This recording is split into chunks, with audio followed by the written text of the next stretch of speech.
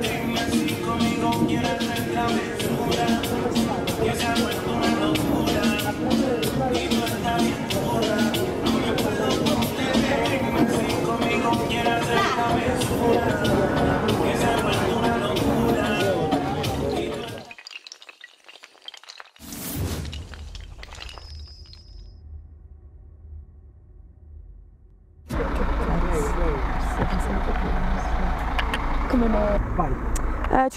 questa mattina eh, presso San Mango d'Aquino dove stiamo per partire per una gita a Reggio Calabria dove si terrà un progetto della rassegna culturale Incontriamoci. Siamo in viaggio per raggiungere la nostra destinazione, ovvero Reggio Calabria, ma per sapere nel dettaglio cosa andremo a fare ascoltiamo le parole del nostro amico Antonio. Ciao Antonio! Buongiorno, buongiorno a voi. Dunque, giustamente come dicevi tu, stiamo, siamo in direzione, in direzione Reggio Calabria. Lì ci fermeremo a vedere, a fare visita ai bronzi di Riace, poi eh, a luna a pranzo al ristorante di Filippo Cogliandro che è uno storico imprenditore dell'antiracket Regina. Tenete presente che a Reggio non c'è un'associazione antiracket, quindi questo dà la dimensione del, dell'importanza dell'azione che ha fatto questo eh, imprenditore, che peraltro, eh, ed è questo il messaggio che dovremmo eh, cogliere tutti quanti, nonostante le difficoltà e un ambiente assolutamente ostile, alla fine la sua battaglia l'ha vinta perché dopo gli attentati che ha subito, dopo le minacce, dopo le intimidazioni, è riuscito a risistemare il suo locale, adesso è un chef di successo, il suo locale funziona, quindi questo è un messaggio significativo che bisogna lanciare, cioè che si può fare la lotta all'andrangheta in termini molto seri. Il pomeriggio poi, finita questo il pranzo l'incontro con Filippo Cogliandro, ce ne andremo a fare una visita a Scilla, e, eh, questo posto meraviglioso, eh, per chiudere la giornata, poi rientro a casa. Quindi insomma una giornata piena ma credo che sia, sarà una bella giornata per tutti noi.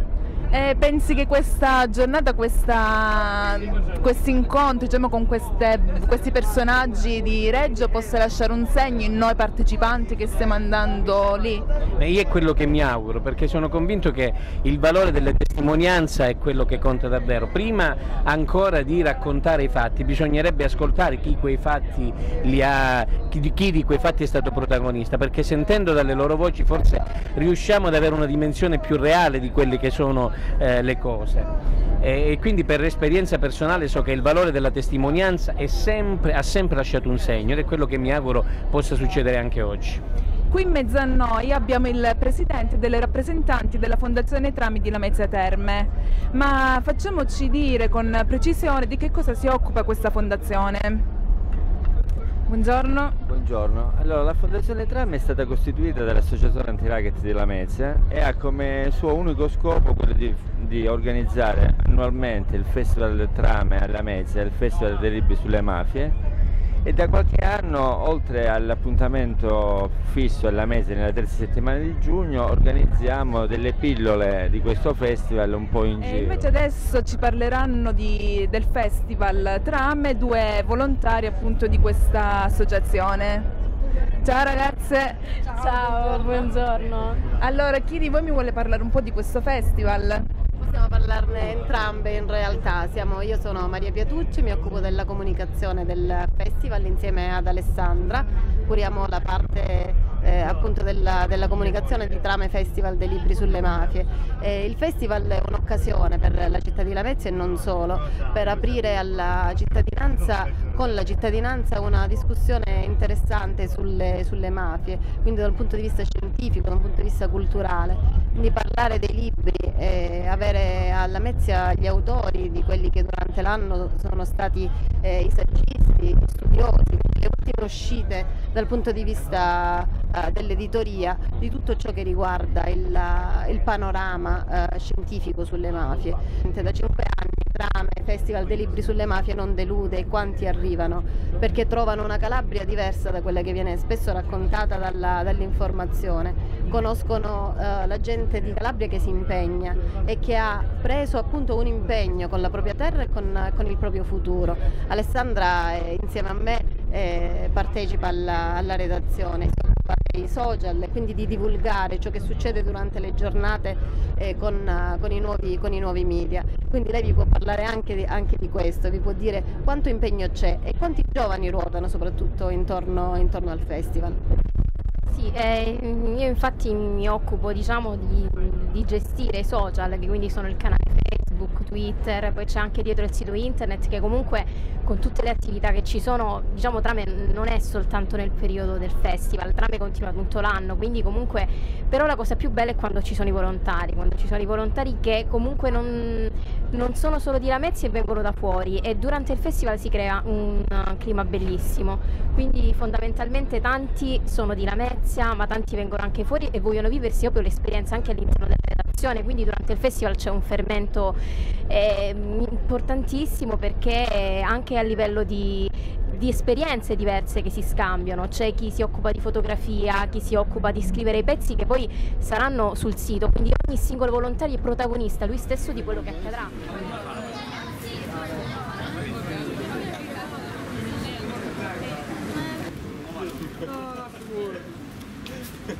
Museo Nazionale di Restauro. Il Messina.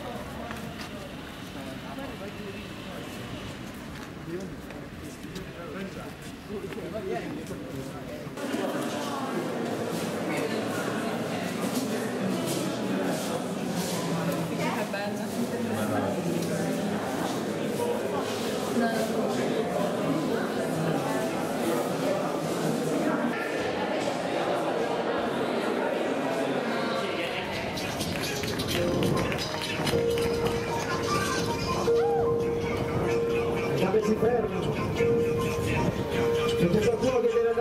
andare a fare qualche altra attività invece dico di dove deve andare.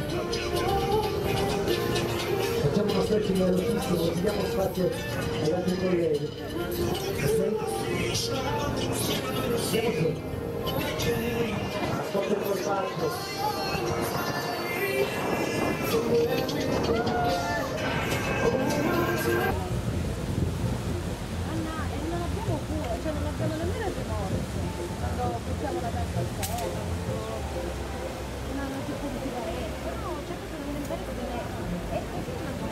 Dopo aver visitato i bronzi Riaci al Museo di Reggio Calabria e dopo aver fatto un giro in città, ci troviamo in questo momento sul lungomare di Reggio Calabria. E come possiamo vedere sul lungomare di Reggio Calabria il mare è molto bello, il tempo anche. Qui vicino c'è un, res- un, ristorante molto bello e si sente un odorino molto mm, buono e tra poco andremo a mangiare. Ciao!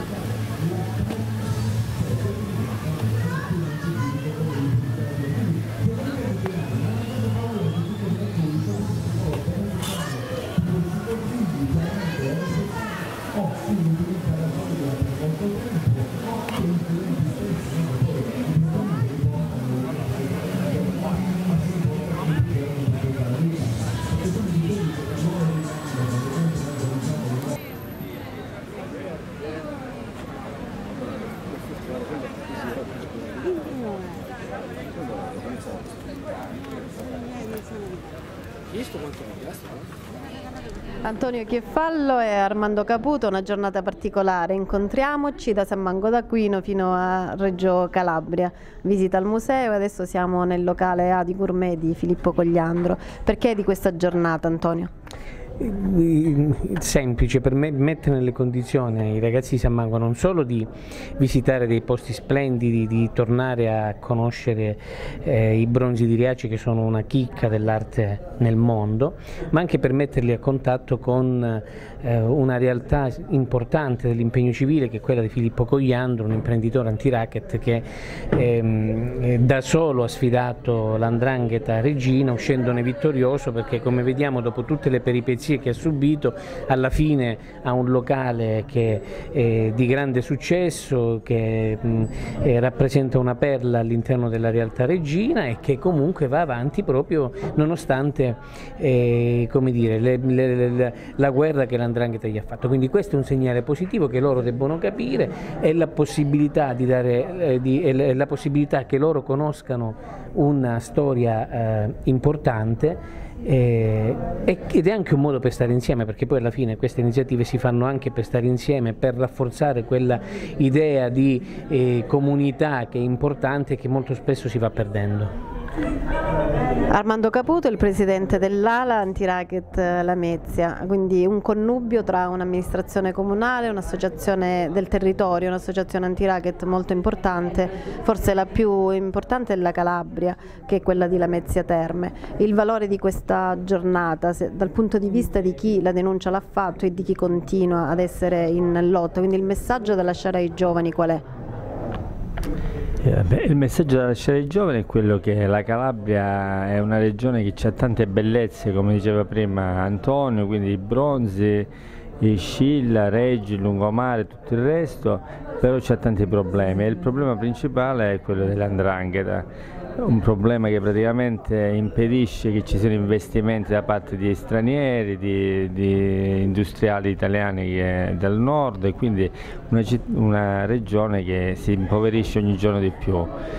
L'unico modo è combattere l'andrangheta che è quello che blocca il, eh, il, futuro di questa regione quindi eh, ai ragazzi facciamo conoscere chi eh, all'andrangheta ha resistito, si è opposto, ha continuato a intraprendere, a vivere tranquillamente senza problemi e senza alibi per nessuno, quindi chi vuole sa cosa deve fare per, dire, per contribuire a fare eh, rinascere, ma neanche rinascere, a far nascere praticamente questa regione che oggi come oggi è il fanale di coda della nostra nazione.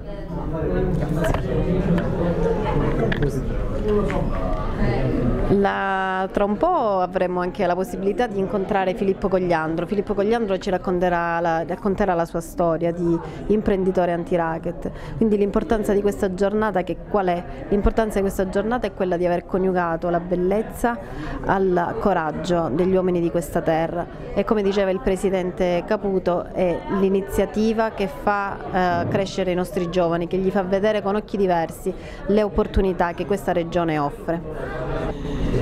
Siamo con Filippo Cogliandro, abbiamo assaggiato la sua buonissima cucina, uno chef eh, coraggioso, anti-racket, è suo questo bellissimo locale dopo aver eh, denunciato, dopo aver subito il, il racket, ha deciso che comunque valeva la pena investire ancora in, in Calabria.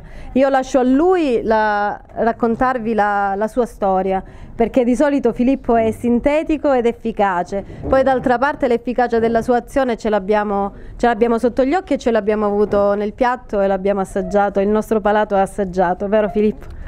Io ringrazio te, ringrazio tutti voi che siete venuti a trovarmi. Questa location è l'epilogo di quella che è un po' la mia storia. E insieme alla FAI, devo assolutamente dirlo, abbiamo scelto di eh, mettere in evidenza eh, questa forte e questa importante scelta nella nostra società. La denuncia deve diventare un investimento per il nostro futuro ed in realtà è stato proprio così.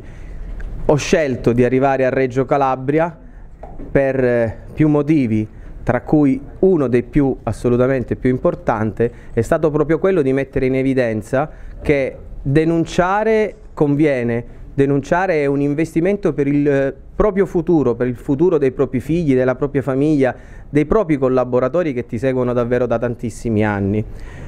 Eh, faccio un brevissimo excursus di quello che è la mia storia, che è anche un poco, in un certo senso, anomala, perché dico anomala? Perché eh, da noi eh, si denuncia quando non ce la fai più. In realtà io eh, mi sono ritrovato così all'improvviso una richiesta di pizzo, mi vengono a trovare nel ristorante, mi dicono abbiamo necessità di parlarti, ci possiamo accomodare, ci accomodiamo e iniziano un discorso abbastanza diretto, immediato se fino adesso hai pagato qualcuno per la tua tranquillità, sappi che gli unici autorizzati siamo noi e si presentano con il nome della famiglia del territorio. Eh, io dico, io non ho mai pagato fino adesso e non riesco a capire perché dovrei. Dice, sai, si paga su ogni cosa e comunque stai tranquillo, non deve diventare, non sarà un impegno per te, eh, nel senso che quando hai una disponibilità noi veniamo qui a mangiare e tu mh, mm, ci dirai ho un pensierino per i cugini, così si identificavano. E ho detto io non, non credo di poterlo fare, stiamo già attraversando un periodo di crisi, vi ricordo che era dicembre 2008, quindi sono già passati quasi sette anni, e da lì è partita un poco questa avventura. Ci salutiamo, comunico immediatamente con i miei fratelli, non vi nascondo che eh, lì per non lì... aveva mai voluto dare dei soldi, però ci minacciavano in continuazione con telefonate, magari facevano anche dei danni all'attività, alle nostre macchine, arrivavano le telefonate anonime dicendo eh, ci avete messo l'acqua nella benzina, Noi, la mia famiglia gestisce un'area di servizio sull'Azzaro e questo ci rendevamo conto era un modo di eh, ricattarci, di chiederci dei soldi, era un racket vero e proprio e non riuscendo a spillare dei soldi alla, alla nostra attività eh, iniziarono una serie di rapine. Quindi queste persone si presentavano a mano armata, eh, ci facevano le rapine ma riuscivano comunque a beccare molto poco perché mio padre in maniera eh, furbesca non teneva mai soldi sull'area di servizio, come si suol dire, non appena raccoglieva qualcosa e io accetto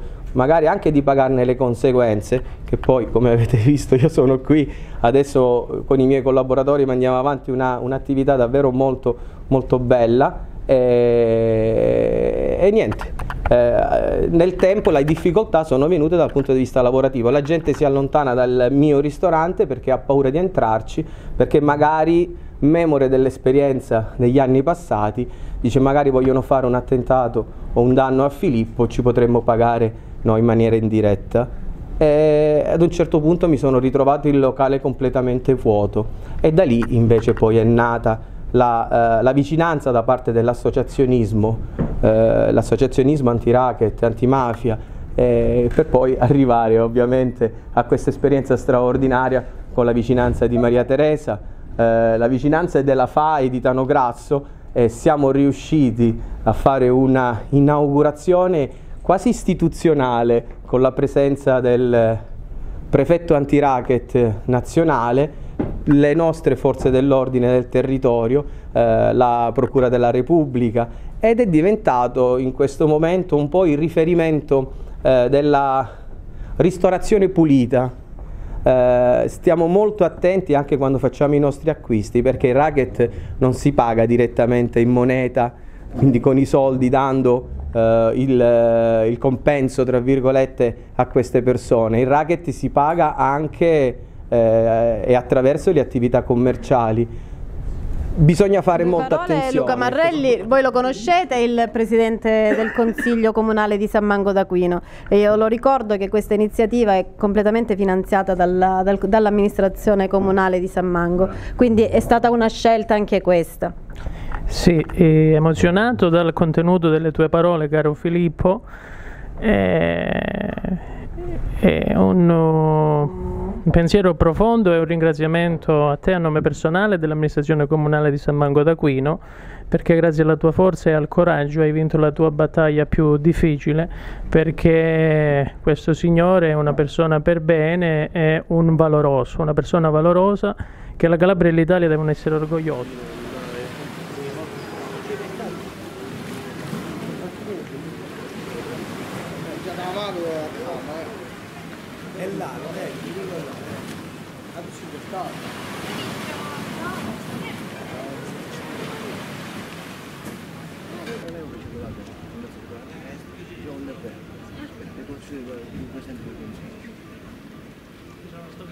Mamma mia. Li chiamo, li chiamo. Irene? Ciao. Ciao. Gabriele, di là il castello. La francese che devo rispettare.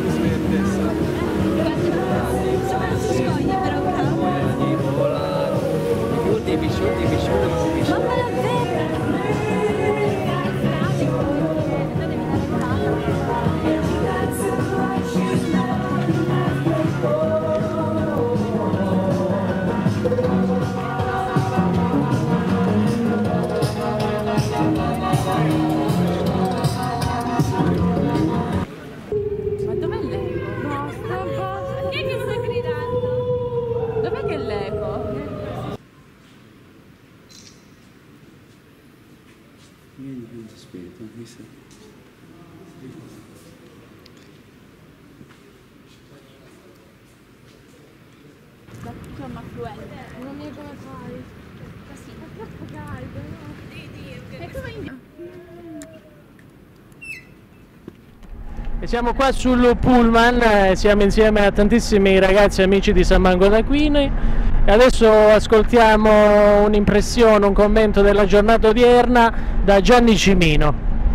Allora, buonasera a tutti, innanzitutto volevo ringraziare l'amministrazione comunale per questa bellissima giornata perché sono un paio di giorni che mi sto preparando a questo evento ma devo dire che è stato, è stato un, un giorno molto, molto ricco per me perché ho capito, ho capito delle, delle, emozioni, ho provato delle emozioni quando mi hanno raccontato tipo il fatto delle, delle estorsioni, della mafia che è entrata nelle, nei locali e nelle, nelle strutture, in tutte, in tutte queste cose. Io volevo ringraziare innanzitutto tutto, tipo l'avvocato che fa, fa, parte, è venuto insieme a noi, fa parte dell'amministrazione. Poi volevo ringraziare particolarmente a Mario, ad Elisa e a Fedele, e a Mario che oggi sono stati insieme a me, ci siamo divertiti, è stata una, veramente una bella giornata. Grazie. Allora, è stata una bella giornata perché siamo stati insieme, eh, oltre agli eventi eh, di interesse eh, pubblico, no? Siamo stati insieme, ci siamo divertiti, abbiamo passeggiato, abbiamo visto Scilla, abbiamo visto il museo, eh, molto brevemente. Vabbè, e adesso l'abbiamo visto insomma. no perché il museo praticamente spieghiamo ci stanno solo i bronzi perché i piani sono in allestimento e ora passiamo, eh, vediamo, sentiamo. Fedele, eh, Fedele, Fedele vuole parlare, Fedele vuole parlare. Fedele, per favore, no, perché Fedele è un grandissimo oratore. Fedele, parla tu, per favore. Oratore, no, allora, Fedele, scusa. Allora Fedele ci deve spiegare. No, no, non ti preoccupare. Ci deve spiegare l'importanza dei bronzi. Sì. L'importanza dei bronzi. Eh, allora, è stata una giornata splendida, abbiamo visitato dei posti meravigliosi della Calabria, eh, partendo da Scilla fino a Reggio Calabria, e nel museo più importante della regione dove ci sono i famosi bronzi di Riace che rappresentano comunque un'eccellenza e un, un, simbolo di tutta la nostra regione. Eh, e per questo motivo è stata una giornata molto proficua dal punto di vista culturale inoltre ovviamente c'è stata anche l'iniziativa anti-racket della, sulla, della quale ringraziamo l'amministrazione comunale le associazioni che, si sono, che sono intervenute eh, e niente, una splendida giornata, una splendida gita in compagnia di tutti i ragazzi di San Manco e quindi io lascio la parola a Mario. No, no, no. Allora, signore e signori, dovete sapere che c'è stato un retroscena della giornata perché non è andato tutto liscio. Diciamo che c'è stata un'esperienza negativa che qui il caro Ilario ci vorrebbe raccontare. No. Come no? Niente, io, io mi devo lamentare perché, cioè, alla fine abbiamo visto posti bruttissimi. Siamo stati in una compagnia bruttissima, di gente maleducata, scorbutica. Poi addirittura siamo andati in un ristorante che ci hanno fatto mangiare malissimo. E alla fine il ristoratore ci ha chiesto pure il pizzo senza motivo. Cioè. Ovviamente scherzo. È stato tutto bellissimo e soprattutto un'esperienza da rifare. Eh, complimenti a chi l'ha organizzata. Ciao!